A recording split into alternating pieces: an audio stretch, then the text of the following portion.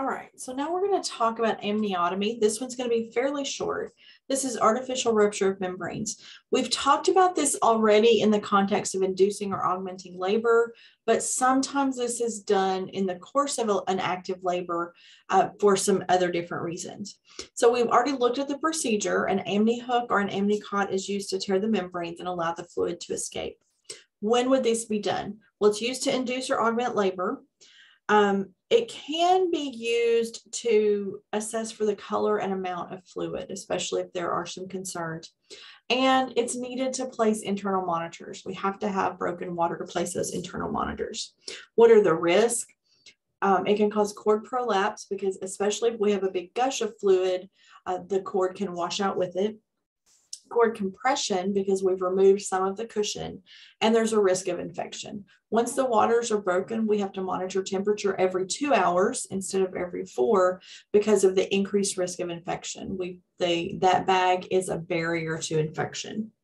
Nursing care. Um, we really, really like it when the provider lets us know they're going to break water because um, it tends to gush at first. And so we need to have the bed padded. We need extra green pads and also towels to try to absorb that extra water so that we don't have to move the patient around to change the whole bed.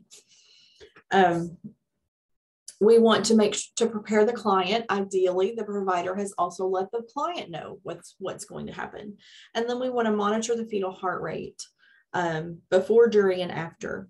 And then every two hours, we check a temp, and then we monitor mom and baby for elevated heart rate because those are all signs of infection. Okay.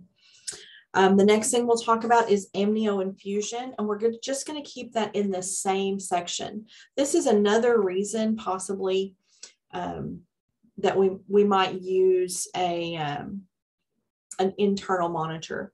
Amnio infusion is infusing room temperature or warm sterile saline, saline solution, sterile solution, which can be either normal saline or Ringer's lactate, into the uterus.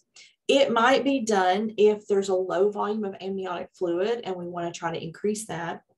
It might be done if the fetus is having a lot of variable decels.